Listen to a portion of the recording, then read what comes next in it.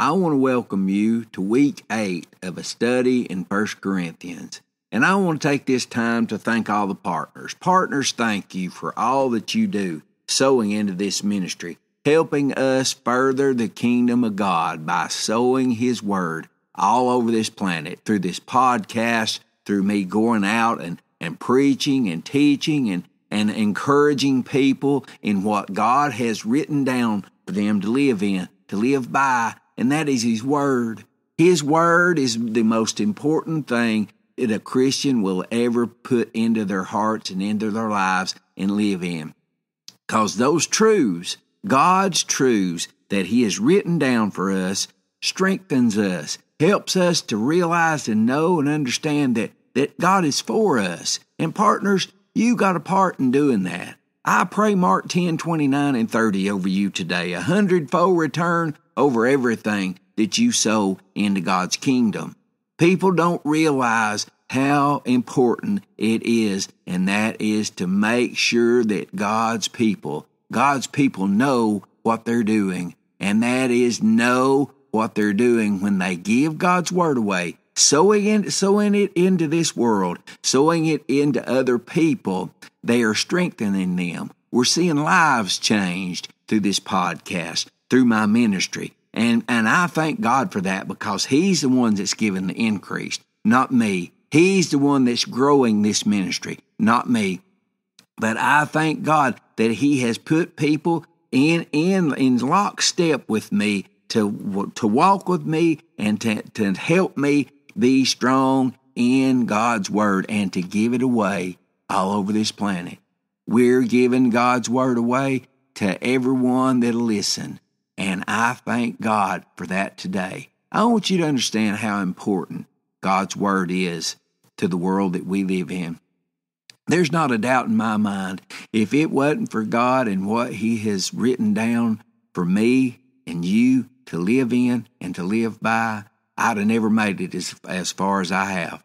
I'm 53 years old at the time of this recording, and I thank God every day that it is, it is His Word that has brought me through.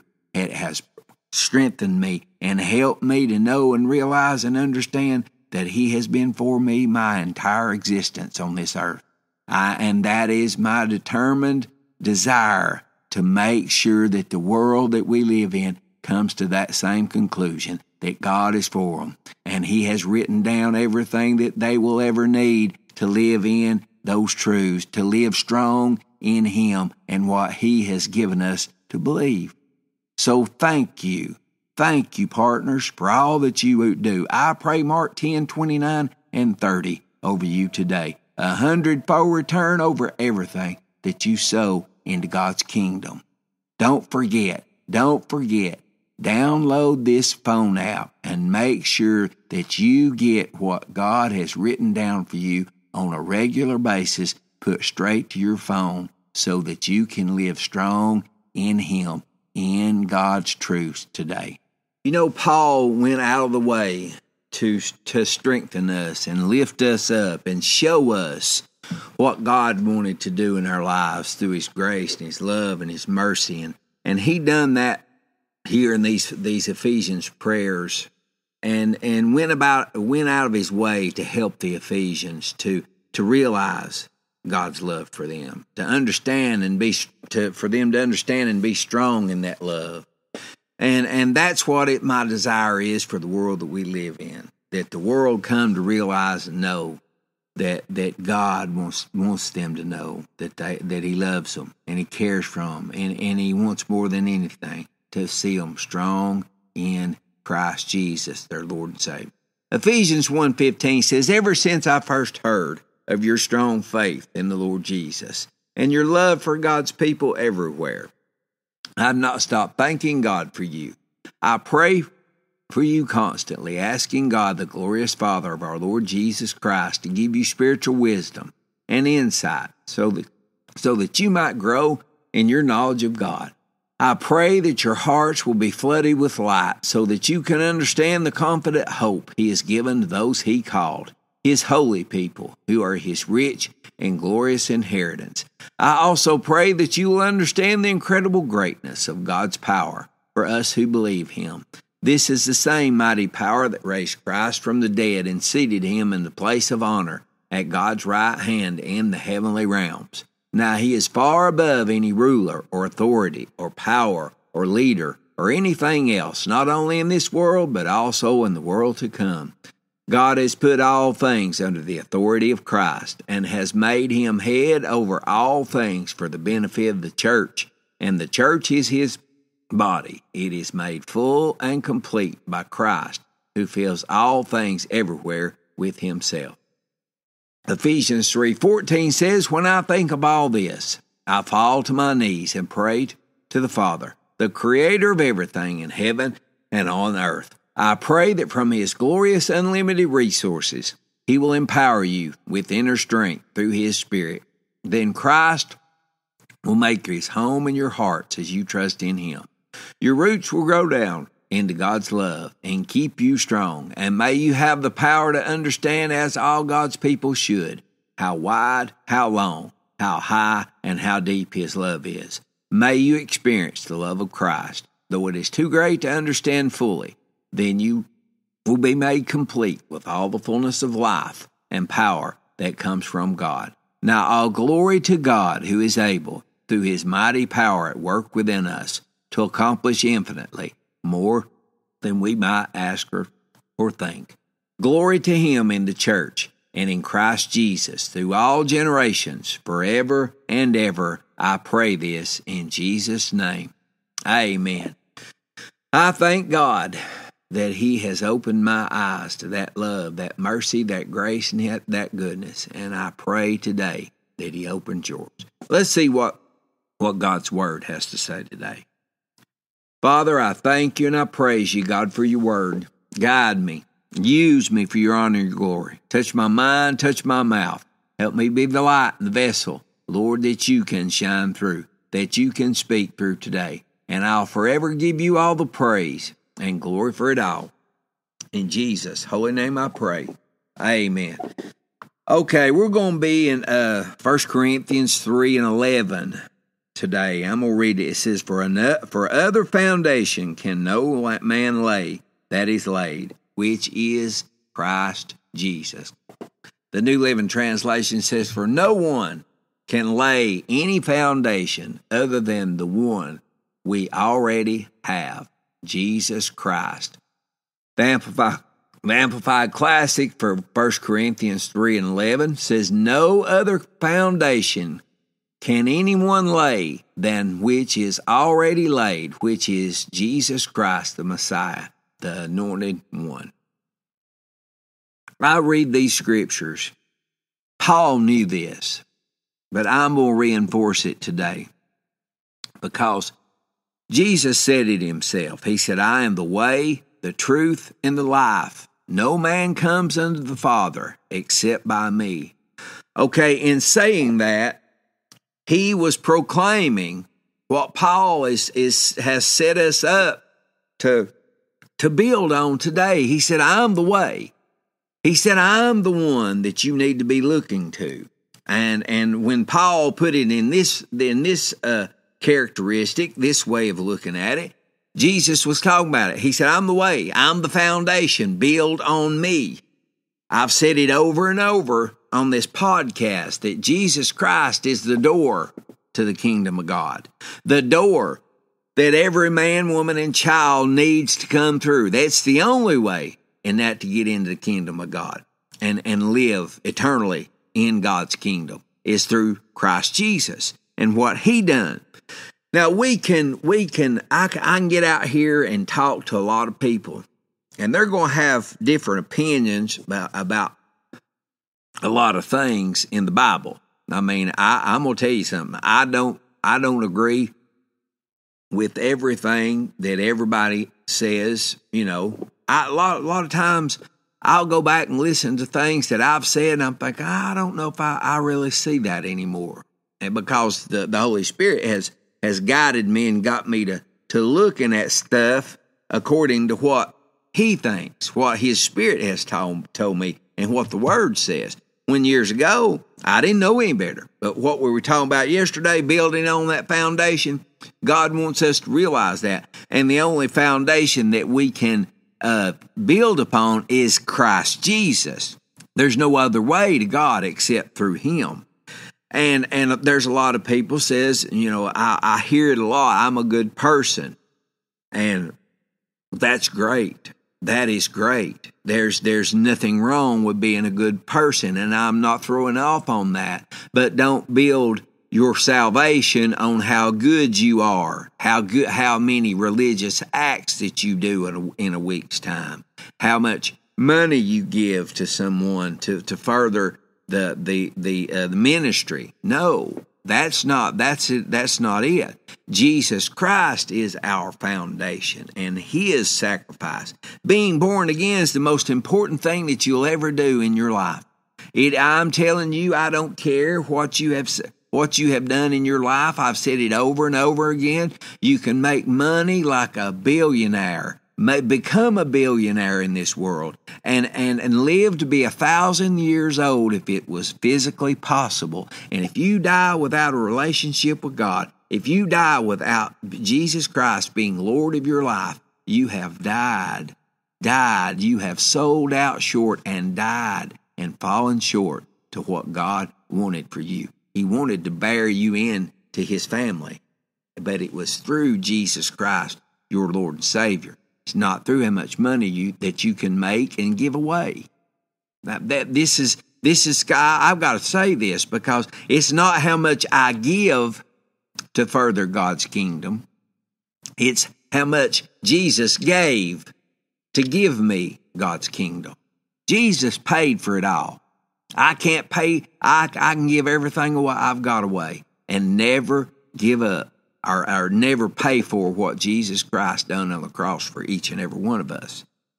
We can all get just just just I'm talking about just give everything we we've got away to the to the further of the kingdom of God and never pay for what God has done through Jesus Christ. You know, First Peter 1 1 and 18, I think it is. Let me re- go back and read it. I know it is, but I want to read it. I want, I want to put it before my eyes too because I want you to I want to get I want you to get a hold of this because this is this is what Jesus wanted us to understand. It's it's Him, it's what He has done.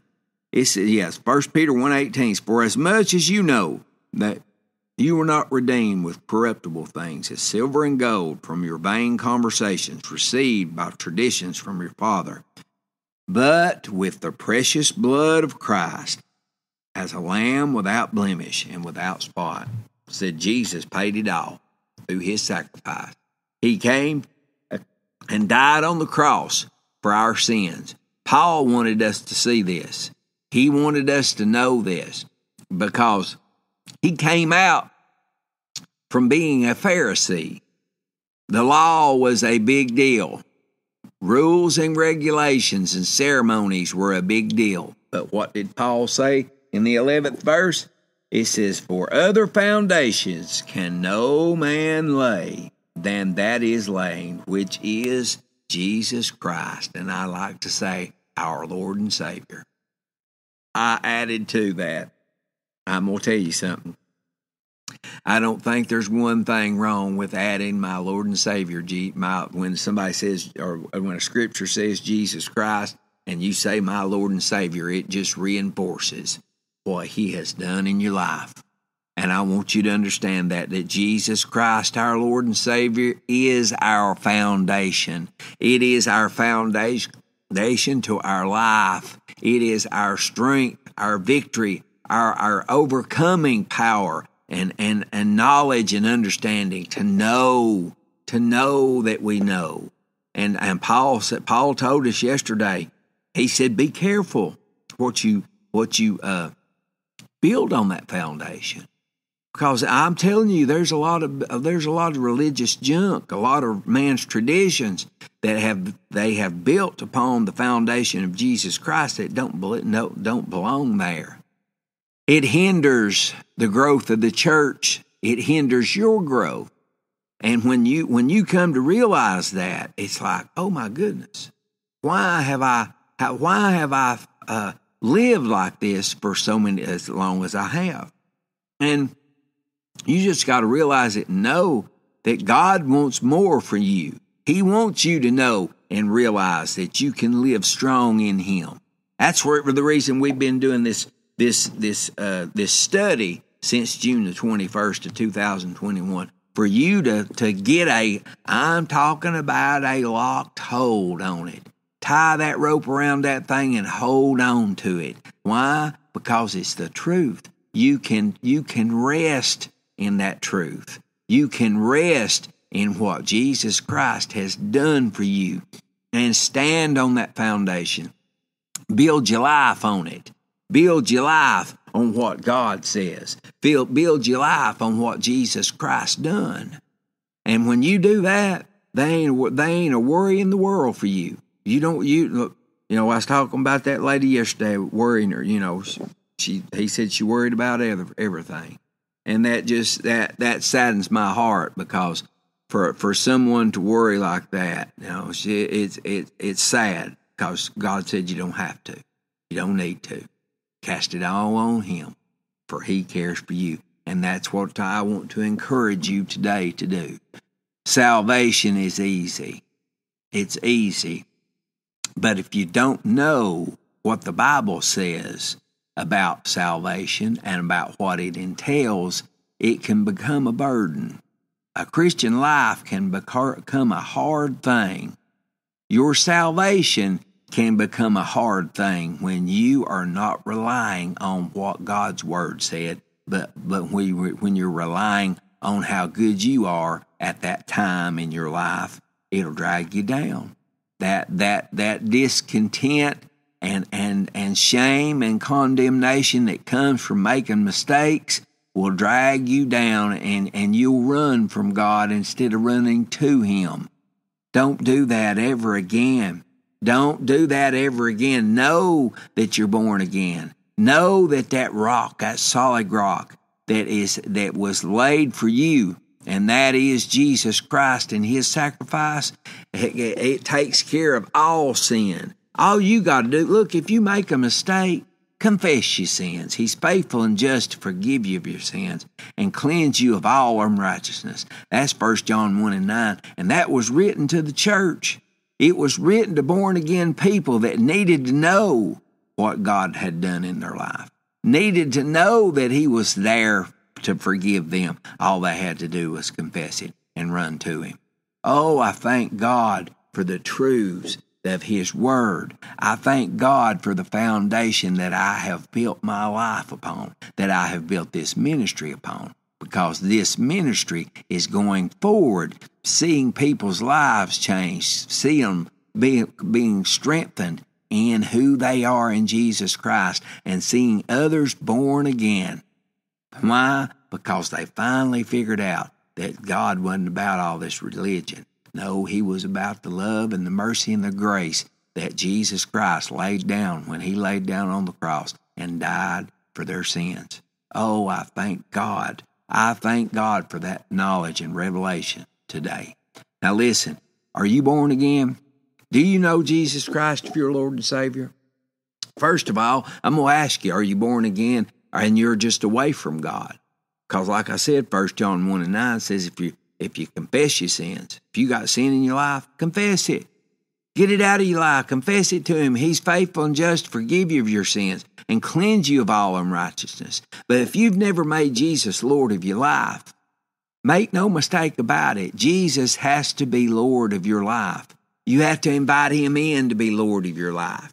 I'm not talking about asking Him to forgive you. I'm talking about asking Him to be Lord of your life. Come into your heart and your life and and and forgive you. And and and he will. But the thing of it is people beg god to forgive them for something they've done but never you never see a change. They never repent of what they're doing. They never turn away from what they're doing. There's a big difference in religion and salvation salvation's easy romans 10 and 9 says if you'll confess you uh, let me say let me back up Romans 10 and 9 said, If thou shalt confess with thy mouth the Lord Jesus, and believe in thine heart that God has raised him from the dead, it says, You shall be saved. It says, For with the heart man believes unto righteousness, and with the mouth confession is made unto salvation. That's all it takes to be born again. Come to Him today. Invite Him into your heart. Say, Lord, forgive me. Be, more, be Lord of my life. Be Lord and Savior of my life. Change me. And then get in His Word and allow His Word to strengthen you and to lift you up and guide you and direct you into places that you that you thought you'd never go. Because I promise you, God will do that for you today. Make Jesus Christ Lord of your life today and watch Him change your life forever. Now, listen, go to our website, get in touch with us, download this podcast app, download this phone app, and get these podcasts coming to your phone on a regular basis, six days a week, Monday or Sunday through through Friday, every day. We take Saturday off.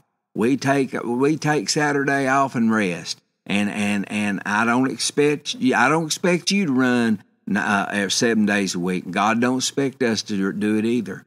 So we take Saturday off and rest, and we're about the Father's business six days a week, teaching people who they are in Jesus Christ. Get this phone out. Find out what the Word says about you. Throw out all that religion and run, run, and that to Him. Be strengthened and that by His Word. Now, if you're a partner of this ministry, I've said it already, thank you. I pray Mark 10, 29, and 30 over you today. A hundredfold return over everything that you sow into this ministry. Now, if you're not a partner, pray about becoming a partner. Pray about what God would have you to do to sow into His kingdom today.